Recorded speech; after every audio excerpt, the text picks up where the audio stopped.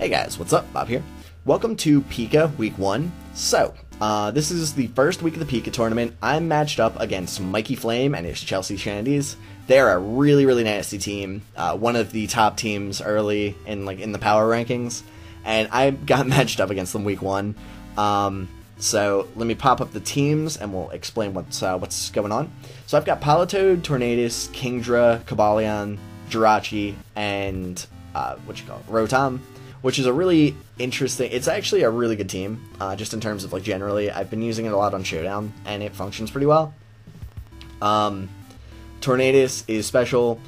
Uh, Politoed is defensive. I wanted to have a defensive Politoed just uh, in terms of like uh, being able to take some hits.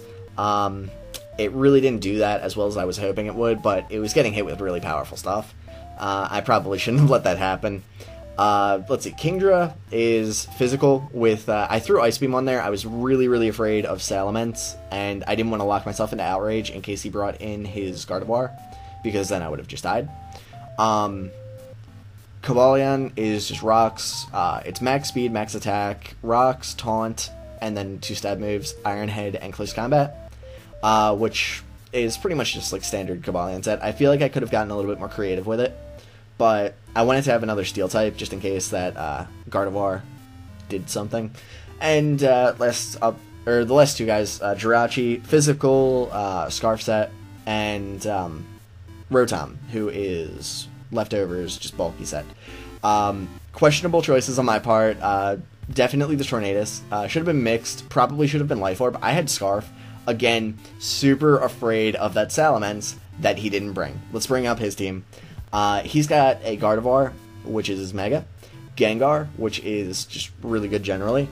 He's got Landorus T, which sets up rocks and just it hits pretty hard, and even if you don't invest in its attacking stats, uh, and he can run it really defensively. Uh, Hitmontop, which is a really really nasty defensive Pokemon, um, and it's just like with Intimidate with that fighting stab, it and of course Rapid Spin to keep rocks off of his side of the field, so he could I I'm assuming he was running uh, Sash on his Gengar. Uh, his Snorlax is really really nasty. It basically sponges up every special hit you throw at it.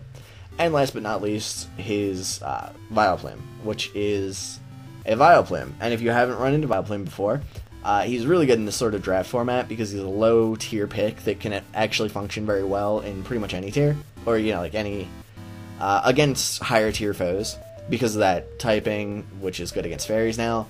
Uh, because grass typing kind of helps uh, in certain situations. In this, it's definitely going to help because I have three water types. Um, so anyway, let's go ahead and uh, start the battle. I'll explain, I'll do narrations, all that good stuff. So uh, let's go now.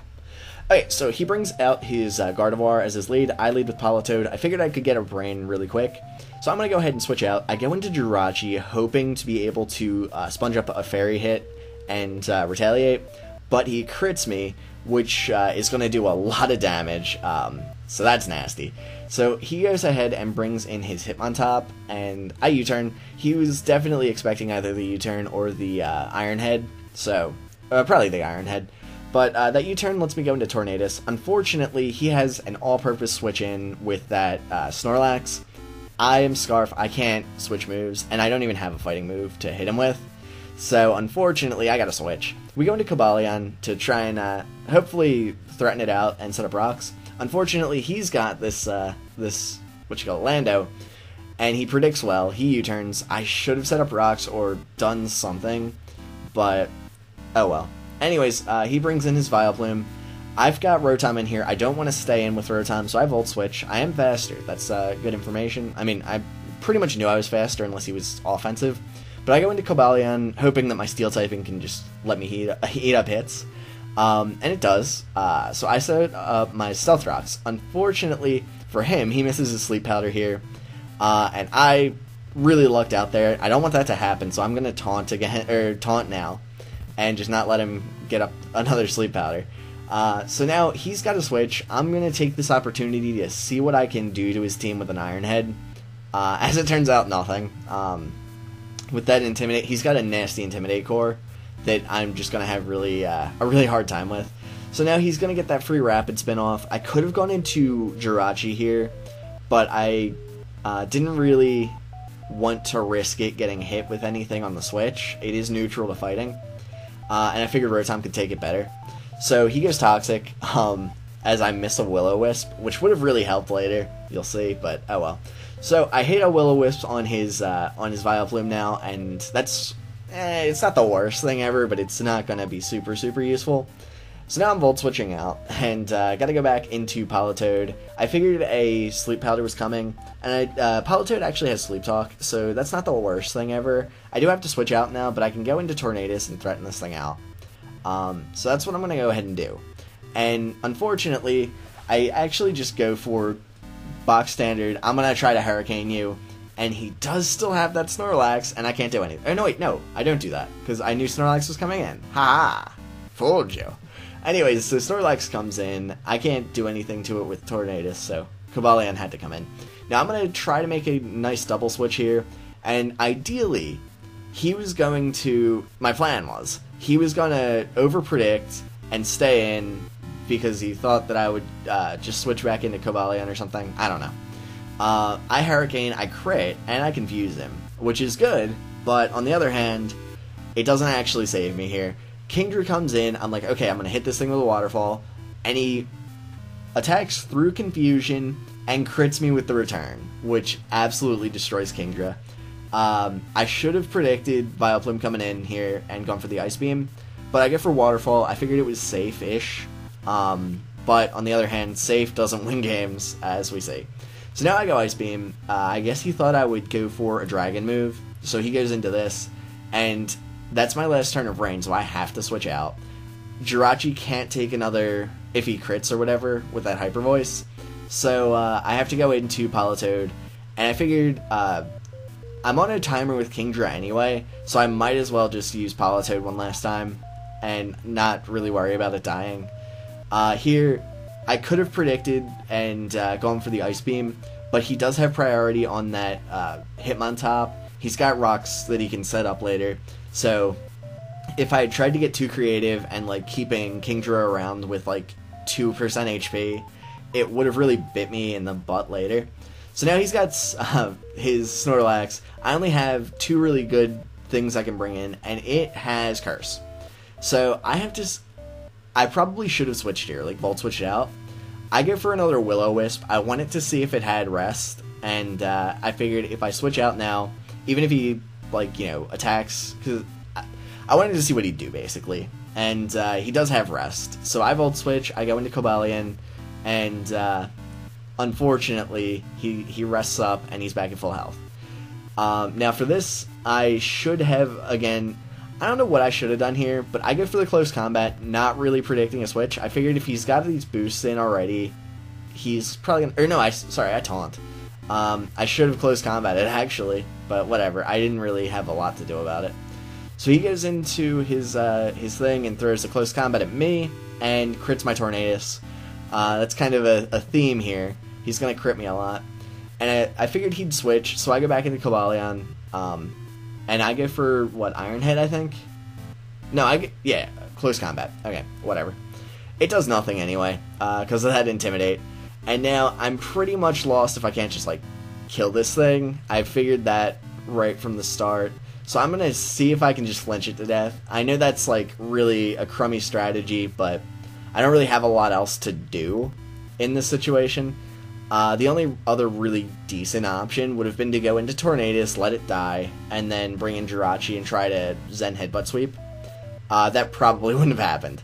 So, unfortunately, Cobalion dies, and uh, Rachi comes in, gets Mach Punched, and he's gonna wear me down. I thought he would switch, so I went for Iron Head, uh, thinking like if he brought in Gardevoir, I wouldn't have brought in Gardevoir, but I don't know. I, I figured Iron Head would be the better option than Zen Headbutt.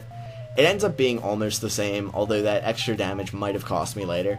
So I go into Rotom against his uh, Tornado, or sorry, Landorus. Obvious switch is obvious. He knocks off and he hurts me behead. Um, and now I've got to try to pain split up because Snorlax was obvious. Um, so here's big kind of moment of truth. I'm gonna volt switch, or no, why did I hard switch into Jirachi, and he goes for the sleep talk and kills me.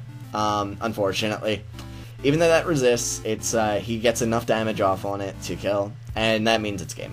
Um, so yeah, basically, um, he definitely outplayed me.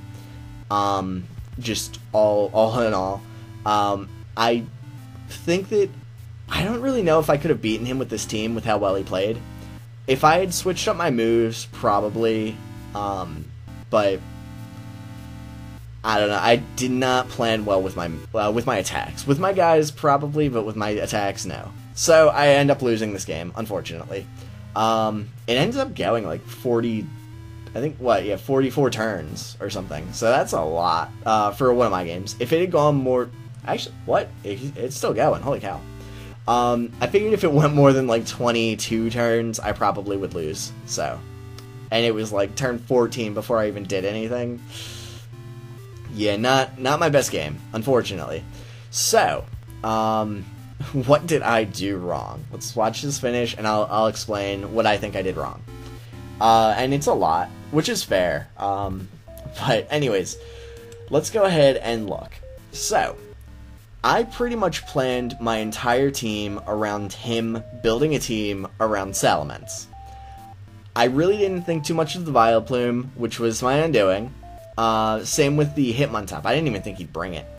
Um, because I had, you know, a, a, nasty flying attack that was specially based. I had that nasty hit, uh, Zen Headbutt, which I didn't use because I'm dumb.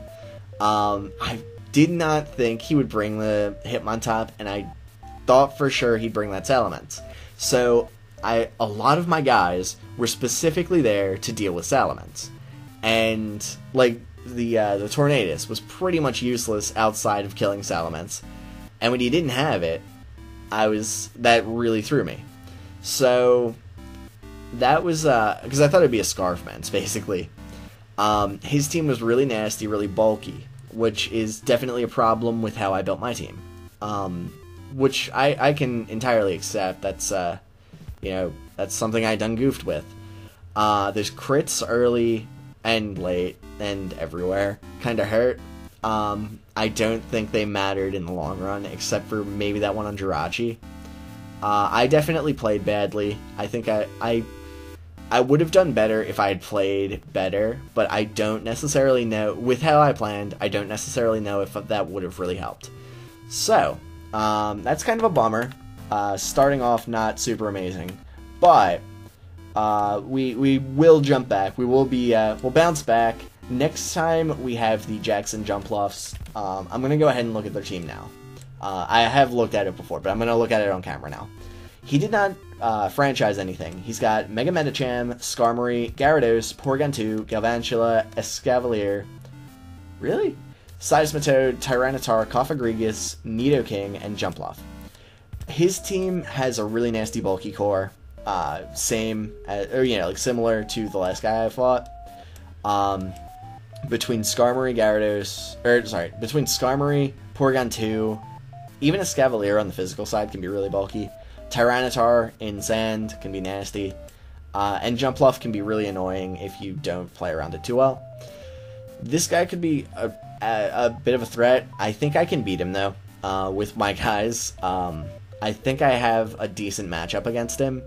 So we're going to go ahead and start planning for that now, and uh, hopefully we'll do better. Anyways, guys, if you enjoyed this video, I implore you to check out Mikey Flame's video. Um, I'm going to link it in the description. Hopefully he'll upload it at the same time or before I do so that I know what the link is. Uh, if not, then I will uh, definitely put it in when he uploads because I am in contact with him. Um, but yeah, check out his side of it um, if you want to hear competent battling. Um, I think he did a lot better than I did, and uh, his thought process should be a lot better. So, uh, and hey, he might insult me, and everybody likes insulting me, right? Nah, kidding. Um, but anyways, yeah. So that's uh, that's week one for PICA. I'm 0 and one. We will bounce back, I swear, guys. Uh, we're not gonna do horrible this time, or you know, like uh, in our first season. But um, yeah. Anyways, hope you enjoyed. Uh, links to everything PICA related will be in the description. Uh, all the other battlers, the spreadsheet, analysts, all that stuff. So uh, feel free to check it out if you're into that sort of thing. And uh, yeah, I will see you later. So, um, bye guys.